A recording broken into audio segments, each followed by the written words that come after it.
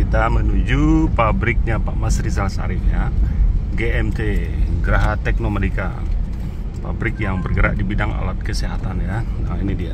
Kita masuk ya. GMT wah ini dia. Kita nih tim. Dari Minang Bespor Pak Maskur Pak Herman Bu Linda nih ya, ya. ini Linda. Oke Graha Teknomedika iya oke ini kita udah masuk ya. Pabrik beliau Graha Teknomedika keren ya. Wih.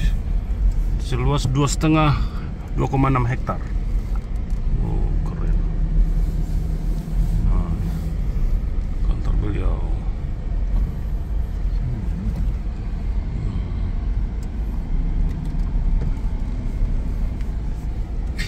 dua setengah hektar oh.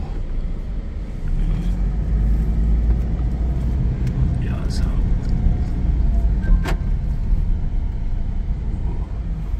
Wis. Nih. Oh, itu. Oke, kita parkir sini. Alhamdulillah. Alhamdulillah. Nah, kita ke Geraha Teknomedika guys ya. Ini pabriknya guys. Hmm. Ayo kita kita ke kantornya dulu nanti kita keliling tour factory tour ke Geraha Teknomedika sekarang kita ke office-nya ya kantornya dulu. Keren. Di Geraha Teknomedika keren ya. Keren banget ya. Wus, keren ya.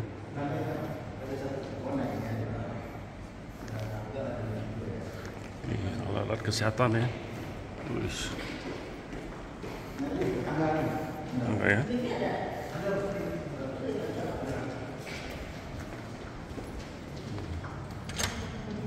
pabriknya. Nanti kita tur ke sini ya. Oke. Iya.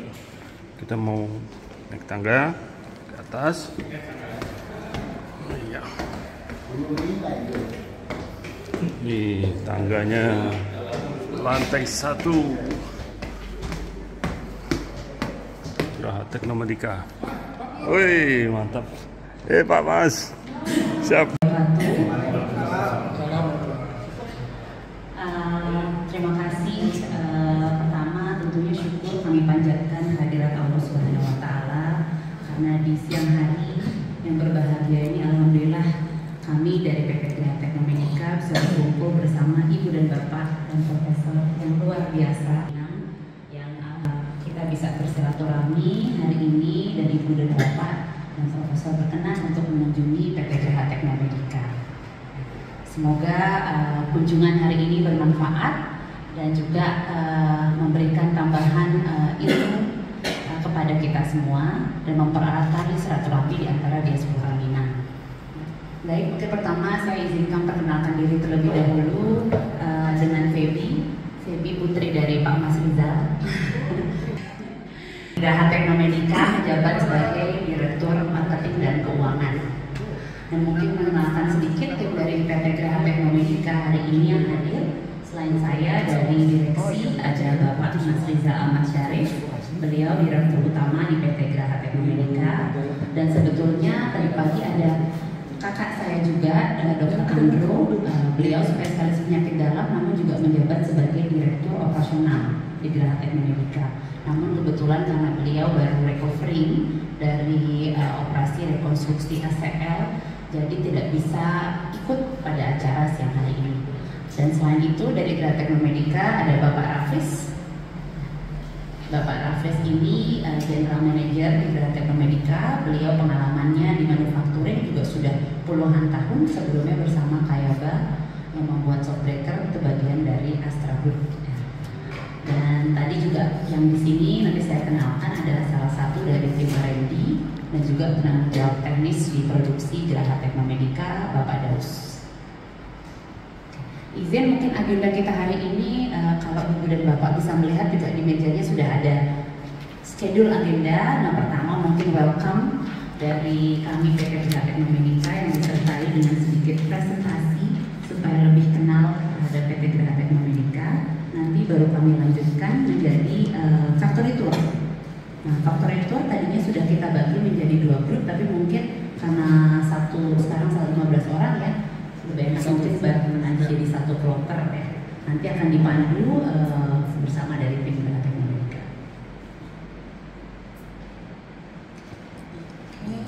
Jadi Geraha Teknomedika sendiri uh, sudah cukup lama berdiri di uh, Indonesia atau di sektor uh, alat kesehatan. Mungkin mengenalkan sedikit terlebih dahulu. Uh, saya putri Pak Mas Rizal, jadi tentu kedua, generasi kesatunya Pak Mas Rizal dengan ibu saya, Ibu Sri Wayuningsih yang mendirikan uh, Graha Group ya, Graha Group di tahun 1982 yang diawali itu sebetulnya dari perusahaan distribusi yang sampai sekarang juga masih kokoh distribusi alat kesehatan di Indonesia yaitu Geraha Ismaya. Nah, jadi Geraha Ismaya sendiri sudah 40 tahun ada di sektor alat kesehatan, sedangkan Geraha Teknomedika ini sebetulnya ikutnya nggak lama daripada itu. Nah, jadi bahkan tahun 85 itu sebetulnya sudah mulai, cuma masih belum dalam format atau dalam perusahaan Geraha Teknomedika. Baru tahun 95 lah dibentuk perusahaan, GRIS namanya, dan tahun 2008 perusahaan GRIS ini ditransformasi menjadi Geraha Teknomedika. Kenapa? Dari nama Geraha itu karena masih grup Geraha supaya lebih mudah dikenali. Dari Tekno karena kami awalnya ini memang fokusnya hanya untuk produk-produk yang mungkin teknologinya rendah seperti hospital bed dan furniture. Nah baru sejak tahun 2008 itulah kami juga ingin fokus ke produk-produk yang fokus kepada teknologi yang lebih juga mungkin medium to high dan sejak itu kita juga merekrut tim riset dan development yang terdiri dari multidisciplinary approach ada yang ekspertisnya di mekanik ada yang ekspertisnya di programming ada yang ekspertisnya di elektrik supaya bagaimana bisa menelurkan atau membuat produk alat kesehatan yang berkualitas dan berteknologi masa kini dan Medika tentu karena kita berkecimpung di dunia alat kesehatan Nah, sejak 2014, Geraha Teknomedika sudah mulai melebarkan sayapnya dan memproduksi juga produk-produk elektromedik. Dan sekarang kami adalah perusahaan yang memiliki sertifikasi yang internasional maupun nasional. Dari segi internasional, kami memiliki ISO 9001 dan ISO 1345 yang ini khusus untuk quality management system dan untuk alat kesehatan. Sedangkan untuk uh, sertifikasi nasional, kami memiliki CPAKB dari Kemenkes yang singkatannya cara pembuatan alat kesehatan yang baik atau good manufacturing practice.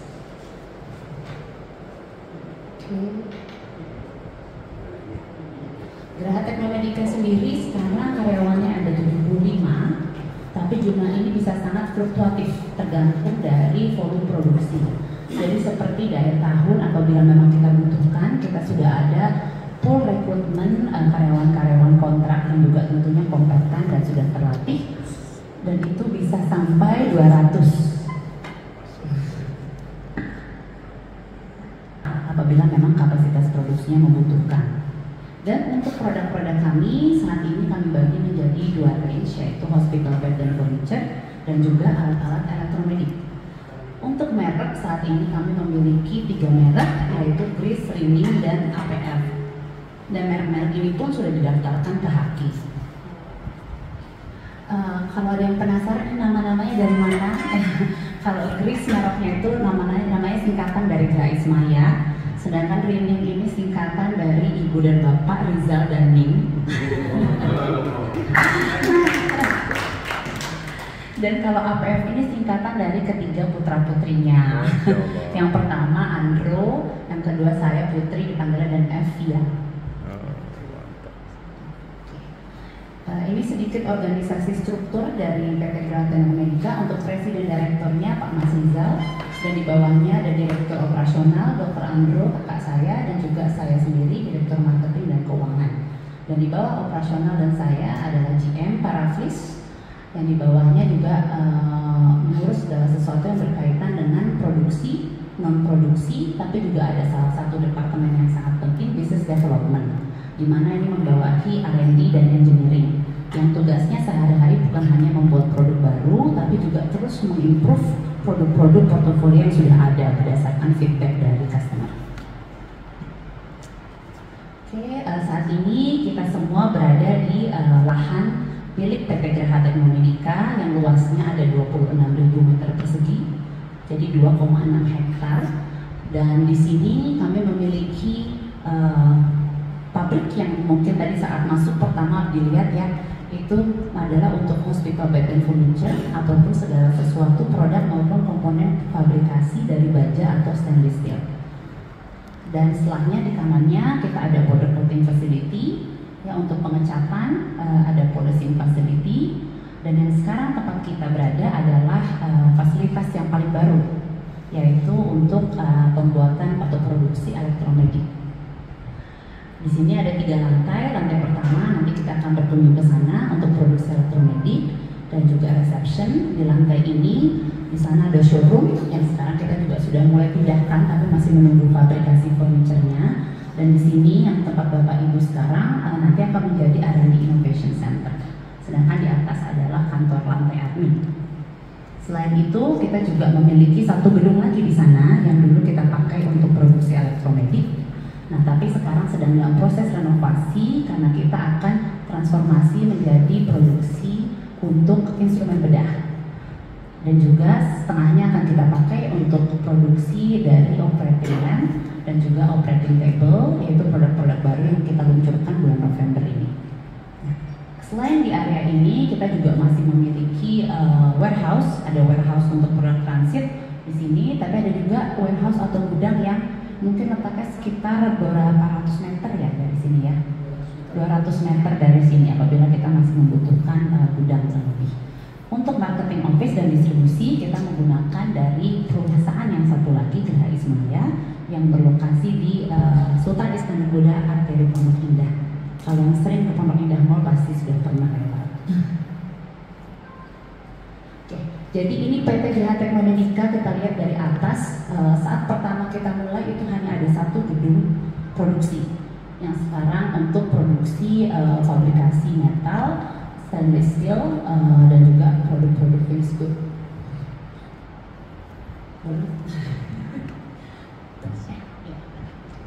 Nah itu kalau itu tadi tahun 2008, nah ini sekarang tahun 2022. Jadi bisa dilihat ada perubahan dan perkembangan yang cepat pesat ya dari uh, Geraha Teknologika yang tadinya hanya satu fasilitas produksi sekarang sudah bertambah. Yang biru tadi kita sekarang ada di sini, yang kanan itu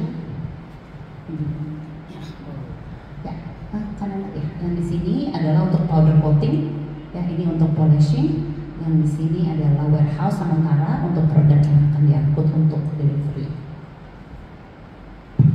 Dan sebetulnya tanah kita masih sampai jauh ke belakang. Jauh ke belakang yang dulu ditanam durian sama Pak Mas Rizal. Tapi sekarang sudah nggak ada duriannya tapi kita sudah ada planning sebetulnya untuk lima tahun ke depan area ini akan kita bangun apa. Next. Oke okay, untuk next ya kita sekarang ada di sini Nah ini mungkin gambaran sekilas saja uh, untuk production line kita, tidak terlalu panjang karena nanti ibu dan bapak juga akan ke sini. Dari mulai warehouse-nya, lalu ya ada laser cutting uh, dan mesin-mesin yang kami pakai pun mesin-mesin yang memang uh, dari manufaktur internasional dan sudah diketahui namanya di dunia manufaktur. Contohnya ini terus dari Jerman uh, dan yang Indonesia pun sangat terbatas karena memang investasinya cukup besar. Nah, terus ada pipe cutting untuk stainless steel kita yang memang uh, bukan sheet tapi yang pipa.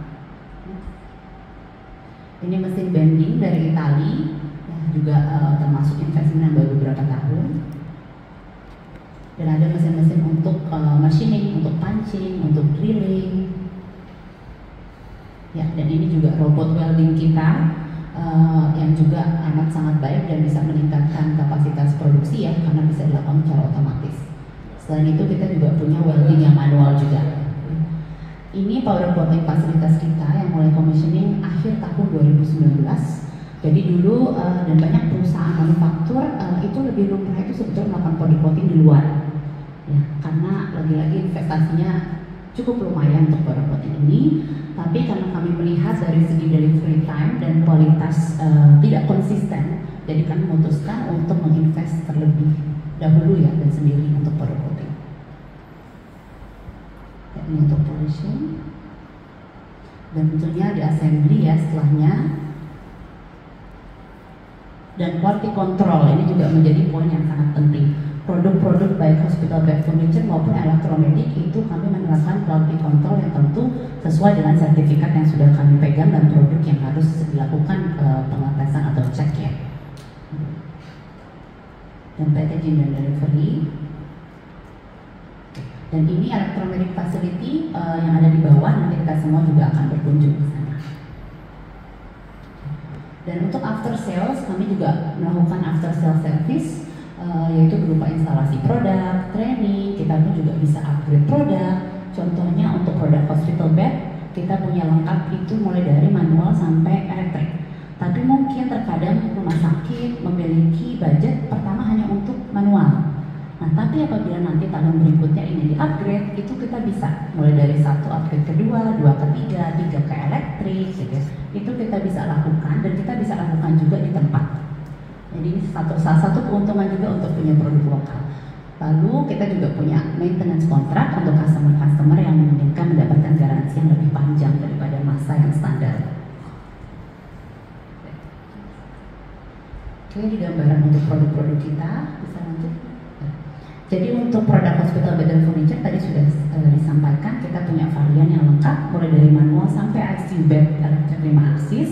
Sedangkan elektromedik kami memfokuskan itu di surgical care, jadi segala sesuatu yang berkaitan dengan uh, bedah ya, dan juga critical care, segala sesuatu yang berkaitan dengan ICU, NICU, PICU. Produk-produk kami ada infant warmer, uh, itu untuk NICU ya, juga face moving, ada fototerapi, untuk, untuk ICU ada infusion syringe pump, ada suction pump, EKG, ultrasound, dan November ini produk-produk baru yang akan kita luncurkan adalah inkubator bayi, uh, high flow nasal cannula yang kita ketahui sangat penting pada saat COVID, instrumen bedah, lampu operasi, dan juga media operasi. Ini salah satu contoh uh, produk hospital bed kita yang nanti juga bisa dilihat di showroom. Next. Ini untuk HPL series, ini kami mengambil desainnya ini mereferensi um, dengan desain rumah sakit di uh, Eropa Barat, di mana mereka memang sekarang hospital bed itu tidak lagi uh, berbahan plastik, tapi berbahan yang supaya bisa bagaimana didapatkan rasa homey, gitu ya. rasa homey dan bisa disesuaikan dengan interior rumah sakit.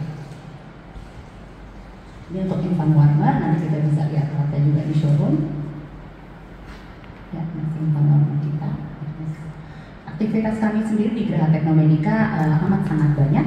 Pertama dari sertifikasi tentunya uh, dan registrasi karena alat kesehatan ini kan industri yang amat sangat terregulasi karena berkaitan dengan nyawa pasien. Jadi kita melakukan sertifikasi tingkat perusahaan tapi juga registrasi produk kita semua di Kementerian Kesehatan dan juga di katalog untuk pasar pemerintah. Selain itu, saya dan Pak Mas Rizal juga aktif uh, pengurus inti dari Aspaki Asosiasi Produsen Alat Kesehatan Indonesia yang juga bermitra dengan pemerintah terutama di sini Kemenkes, Kemenperin, Kemendang untuk bisa bagaimana memberikan advokasi dan juga mendukung industri alat kesehatan dalam negeri. Saya sebagai ketua dua dan Pak Mas Riza sebagai ketua dewan penasehat. Dan kami pun juga terus berpartisipasi uh, di exhibition atau pameran yang berskala nasional maupun internasional. Untuk skala nasional yang paling mungkin sempat didengar ada Hospital Expo itu di DHCC baru saja selesai minggu kemarin lalu ada HKN Hari Kesehatan Nasional yang rencananya akan dibuka oleh Pak Menteri Budi uh, Gunasadikin itu di minggu depan. Dan juga kita terus mengikuti uh, pameran yang berada di luar negeri. Contohnya yang sudah pernah kita ikuti itu Arab Health dan untuk tahun ini yang sudah kita ikuti ada uh, Osaka Delegation uh, uh, Forum untuk Farmalkes itu saya sendiri yang mewakili terus kita juga ikut di Singapura acara industri transformation. Lalu next kita akan mengikuti pameran Medika di Düsseldorf bulan November. Ini pameran yang terbesar untuk alat kesehatan. Dan kita juga akan ikut di sana difasilitasi oleh uh, Kementerian Kesehatan dan juga oleh KBRI Jerman. Di sini kita nanti akan tanda tangan MOU juga yang akan dihadiri oleh uh, pihak Kementerian Kesehatan dan KBRI untuk kerjasama kami meluncurkan produk alat kesehatan di Indonesia dengan pihak perusahaan dari Jerman. Dan uh, Desember ini kita akan mengikuti pameran Medifarm di Vietnam dan akhir Januari akan mengikuti Arab Health kembali di Dubai. Nah, jadi cukup padat uh, acaranya, terutama internasional, karena kami dari Geraha Teknomedika memang mencanangkan untuk bisa melakukan ekspor dalam satu tahun ke depan. Ini untuk R&D tadi sudah disampaikan, R&D juga banyak sekali pekerjaannya, mulai dari improve produk-produk yang sekarang kita miliki, mengembangkan produk baru, training, kalibrasi, melakukan upgrade dan lain-lain. Dan tentunya didukung oleh peralatan yang memang uh, untuk peralatan research and development seperti 3D printer yang juga baru kita akan tambahkan ke peralatan di R&D dan juga software-software. Ya. Berarti, oh ya sudah. Itu mungkin sedikit perkenalan untuk Geraha Teknomedika. Selanjutnya ada video yang mungkin saya tampilkan untuk memberikan gambaran secara keseluruhan.